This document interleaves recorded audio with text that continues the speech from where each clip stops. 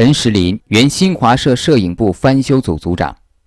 从1950年到1966年，他先后制作了四幅毛泽东标准像。这些照片让人们看到了一个充满光辉的毛泽东。然而，他制作的第五张标准像却从未公开发表。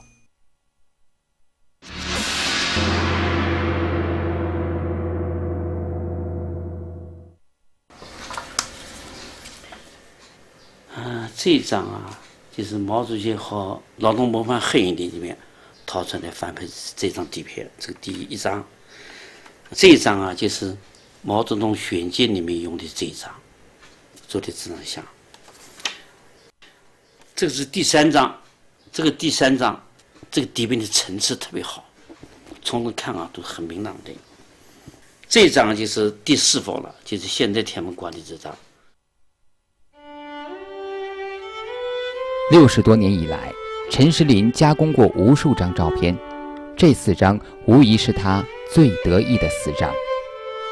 就这个，我统统计了一下，啊，那个印刷品就多了，印刷品啊，初步考虑啊，最少有几十亿张，就大的那个大的印刷品啊，那家里挂的，啊，家里每张，当时每家都挂着主席像啊，是吧？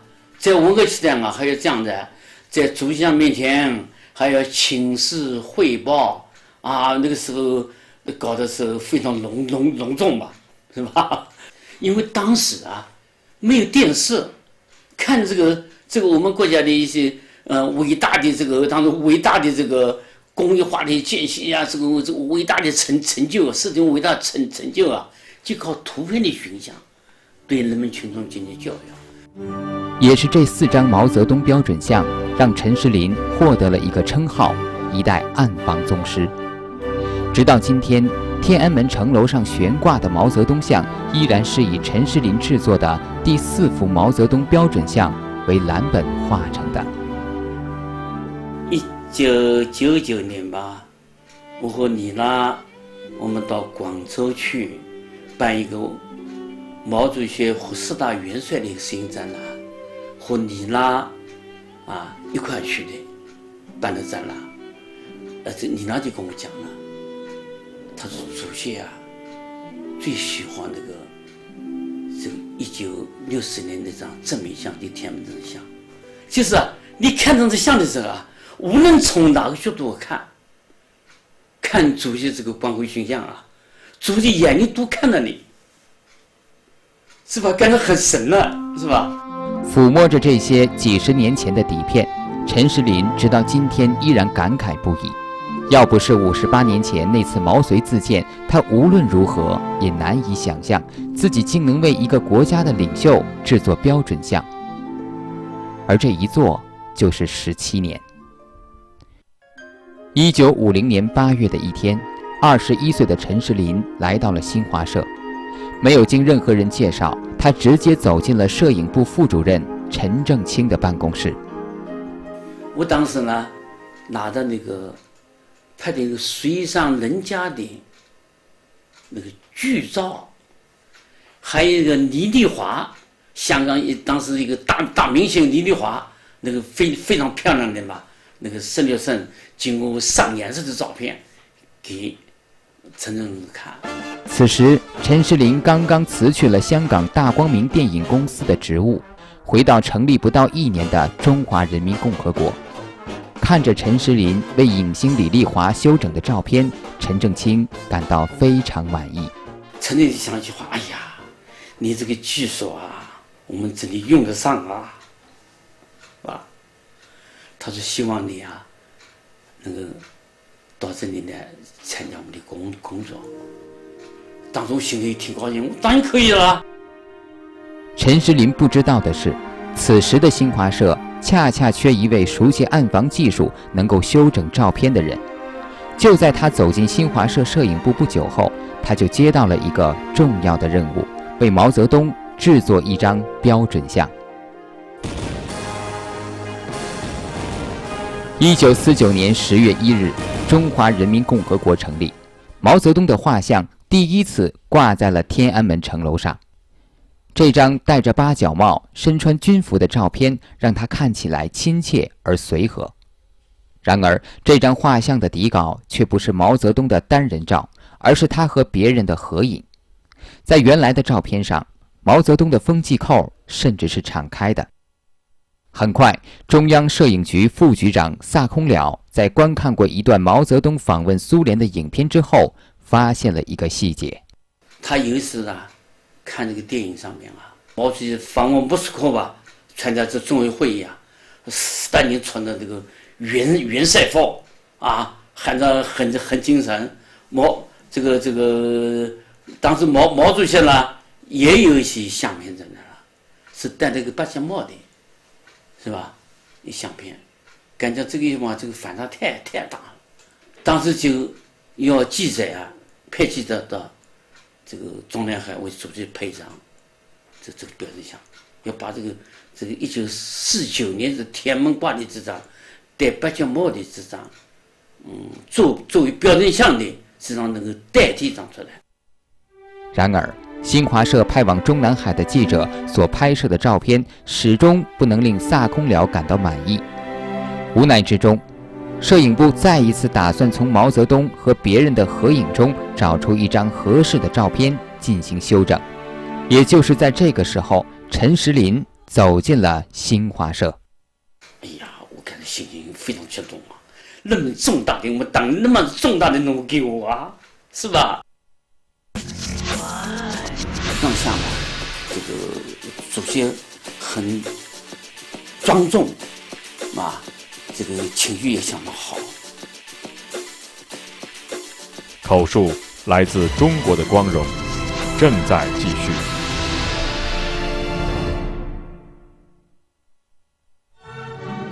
一九五零年，新华社摄影部准备为毛泽东制作一张标准照。但此时忙碌的毛泽东甚至没有时间拍摄一张合适的单人照。新闻摄影局的沙空了同志就找着新闻摄影部那个陈振清同志啊，就是能不能找一个后期加工这个技术上比较好的同志啊，把当时这个过去所拍的照片里面啊，选人们。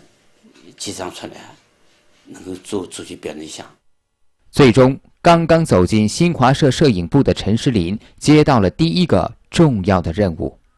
当时敌兵很多啊，到资料搜一圈翻透了，是吧？最后还是选了一张呢，就是在一九五零年呃六月份，这一次那个毛主席啊和工农兵。代表一张合影的一张照片。由于是一张合影，毛泽东的后面还有一个劳模，照片背景的光线也显得有些不足。于是陈世林把同一张照片按照不同的亮度放大了十多张，从中选出了曝光最合适的一张，开始修整。先把后面的人头啊，当时用刀啊，那个是刀，当时用的什么呢？用的那个外科动手术那个手术刀，哈哈，很锋利是吧？当时刮头啊，写的很很细。那个有的地白的地方啊，就是我用笔啊把它绘画出来，跟后面的那个布墨相适应，那条纹啊，这个配合的还是可以的。几天的辛苦工作之后，毛泽东的第一张标准像诞生了。仅在1950年，毛泽东的第一张标准像就被印刷了两千万张，并让四十多个国家的人们认识了中华人民共和国的领袖。许多年以后，这张毛泽东的标准像也被选为人民币上的画像。但在当时，这张标准照却令陈石林感到有些遗憾。在建国初期。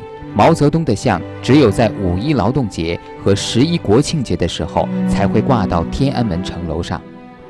尽管陈石林做好标准像时还不到国庆节，但画家们却已经来不及按照照片制作一幅巨大的画像了。一九五零年啊，当时画家画了一张证明像，画的一画了一张证明像天天安门广场八的，就没有用这一张。这一张啊是大概是从呃五一年五二年才用上这一张。一九五一年，在斯大林的建议支持下，中共中央决定组织毛泽东选集出版委员会，编辑出版《毛泽东选集》第一卷，以帮助人们进一步提高马克思列宁主义理论水平。在这套书的封二上，需要有一张毛泽东的标准照。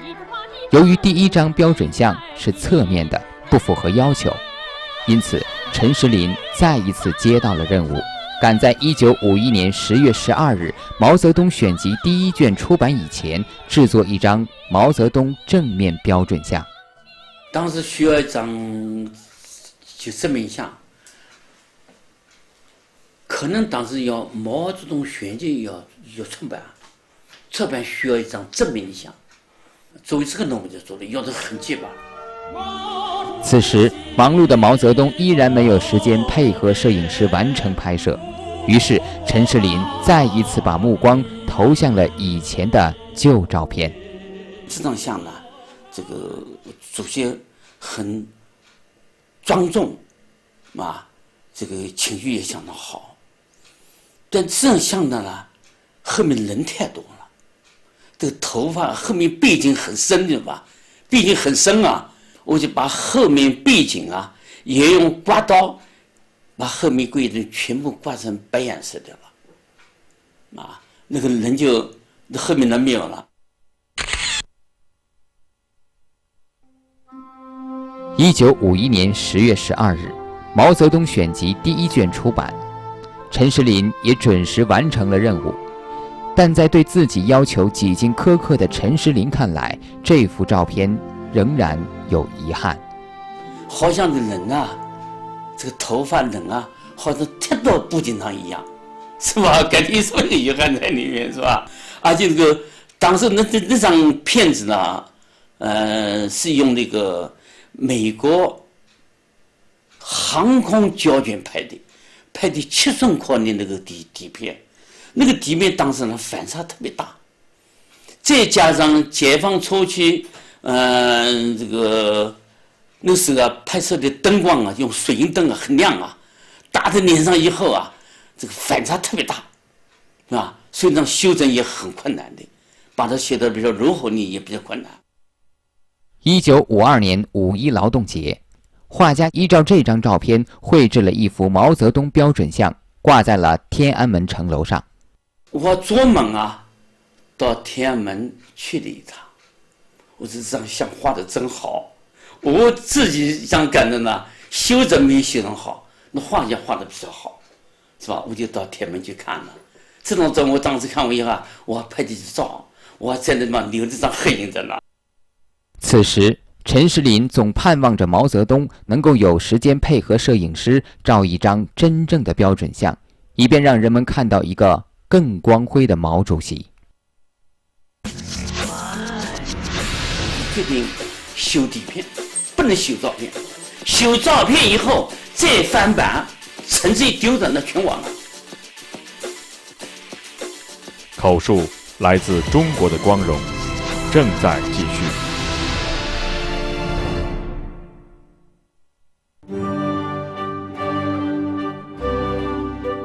一九五九年四月，第二届全国人民代表大会第一次会议在北京举行。会议选举刘少奇为中华人民共和国主席，朱德为全国人大常委会委员长，周恩来任国务院总理。为迎接即将到来的十周年国庆典礼，充分展现新当选的领导人的形象，中共中央决定为领导人制作标准像，并刊登在国庆节出版的《人民日报》头版。不久后，刘少奇、朱德、周恩来等领导都去了照相馆。毛泽东却没有去。这个照相问照相啊，有一个有一个问题在里面。这个领袖去了以后啊，要听他的摆动啊，你怎么这这个姿势应该怎么摆啊？脸啊怎么抬头抬高一点啊？怎么歪一点等等啊？一个一个伟大领袖啊，听这样人去摆动了这一点啊，是吧？我总感觉重一点啊，呃，感觉重重有那么一点点啊，这这不不不过我我美的地方了是吧？为了尽快完成标准箱的制作，新华社再次派出了记者，专门到中南海为毛泽东拍照。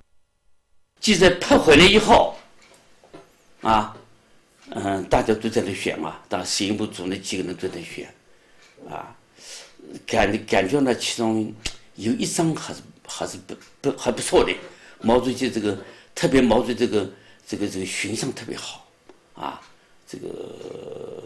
能够反映毛的一个增加的风度，选择这张。然而，这张表情比较好的照片，灯光效果却依然不能令人满意。这脸上啊有强烈的反射光，是吧？最很自然的白的反射光。另外，阴影部分啊比较浓，啊，这个衣领也没拍全，衣领里面这个。穿衣领啊没拍全，这个衣服上啊那个皱结、皱褶啊特别多。一种标准相啊，就要各方面都要很标准啊。这个衣服穿的很整齐、很平坦啊。这个情况就需要加工修，不修更不行啊。但这一次修改照片的任务却没有分配给陈士林。为了保障照片的效果，新华社摄影部挑选了当时中国最好的四家照相馆，什么那个中国啊、大白呀、国泰呀这几个地方，请他们的高级技师啊加工修，啊，那修到大概第二天呢，准备去南了，又开会，你看，看了以后啊，感觉呢。这个他们修工啊，非常细，非常细，但是这个照片一翻版啊，以后啊，人的脸上的肌肉的质感却没有了，啊，这个脸上像个看个什么呢？像个瓷娃娃一样，啊，太亮了，因为很认真修啊，修的太光滑了，最后大家领导看了，哎呀，这个还不行，是吧？这个画面不真实了。是吧？当时那个时候嘛，这个那个我们一些那个城镇机关呢，是你啊，你做一张，你问你为什么不做啊？当于我们那时候啊，说真话，才三三十多岁吧，刚说这，是吧？我我不能这个情况，我就说我不能讲啊。领导一提上来，我是这样的，我我我试一试吧。第三次修改毛泽东标准照，陈世林大胆地采用了一种新的方法。过去传统方法不适合修伟人的照片。我们当时认为啊，修的政治人像，这个可不简单啊！修的人像从政治上考虑啊，当时这个脑子里面这一点是非常清清楚的，是吧？不能随便动一笔啊！啊，当时我就用什么方法做呢？我就决定修底片，不能修照片。修照片以后。再翻版，成绩丢的，那全完了。那绝对不能修照片。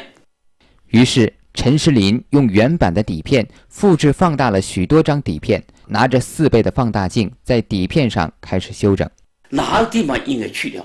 强烈的反射光，脸上强烈反射光，是吧？有远人们的视觉效果，那一定要把它修掉。特别那个浓浓重的阴影啊。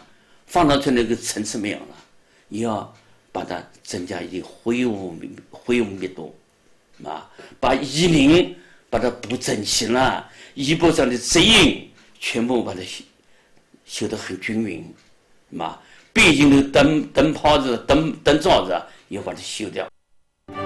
几天之后，一幅带有皮肤质感的标准像诞生了。为了保险起见。新华社摄影部决定把其他四个照相馆和陈石林修整过的照片一起送往中南海，由中央领导决定采用哪一张。送给中央有关领导去审查。啊，我据说最后呢，这个照片定稿啊，都是由总理主席确定的。最后选定了是用刘修的这张。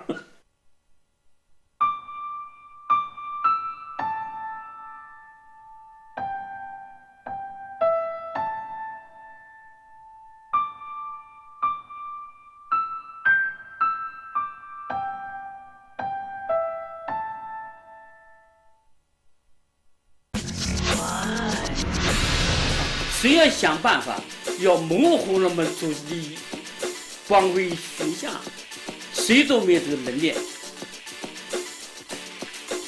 口述来自中国的光荣，正在继续。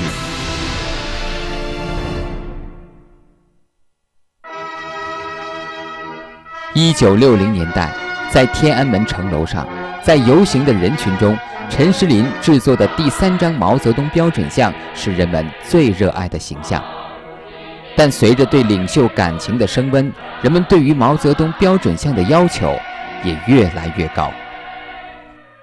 用了当时有人的条件，认为这张照照片啊，这个是就露的一个左边的耳朵。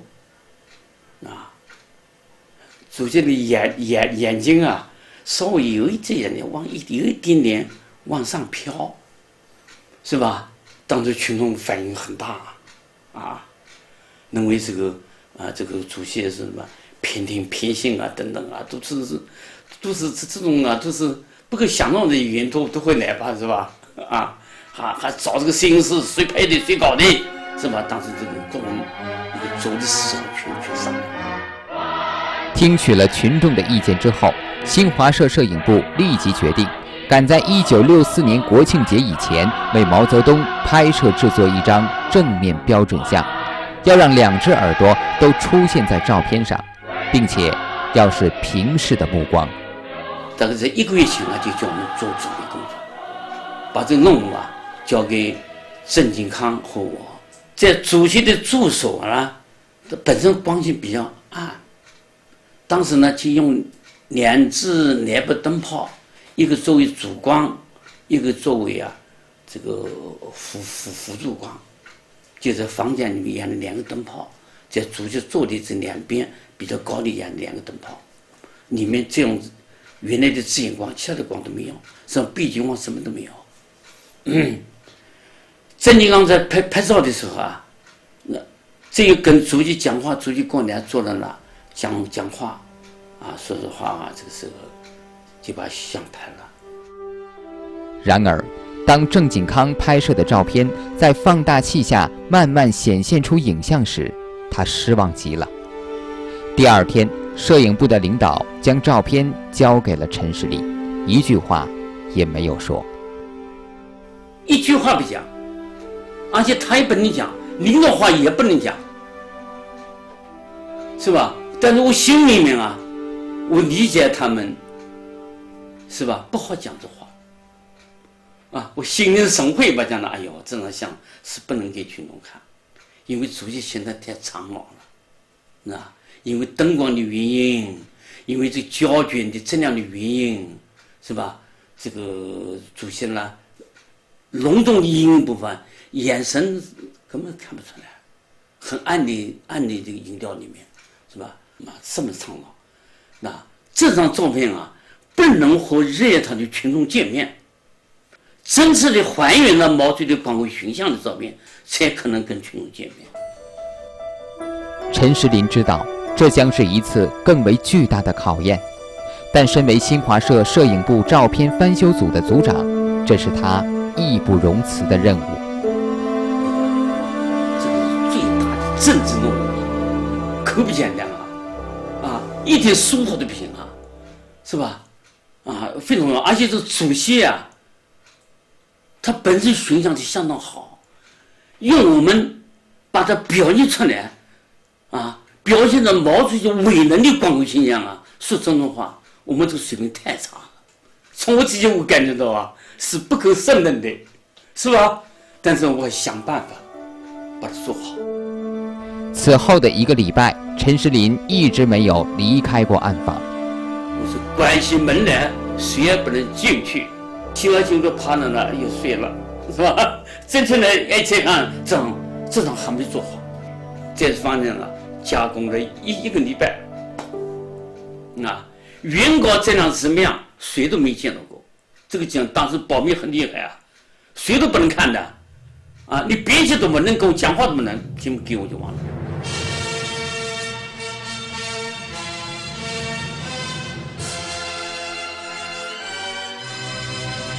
一九六四年九月，第四张毛泽东标准像诞生了，这也是晚年毛泽东最喜欢的一张标准像。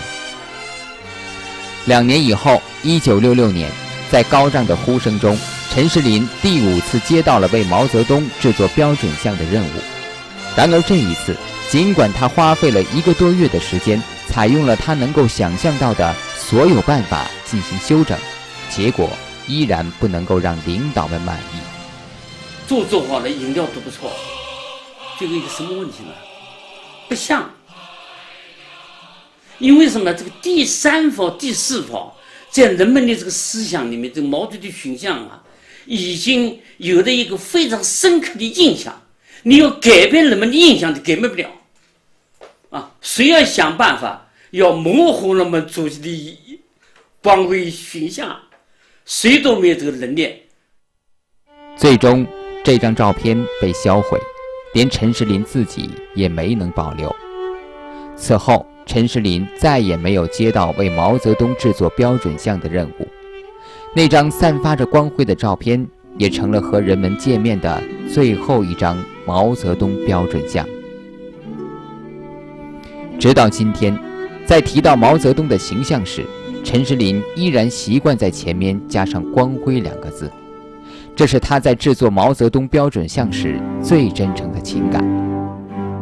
在他看来，能够让人们看到一个伟大领袖的光辉形象，是他的光荣。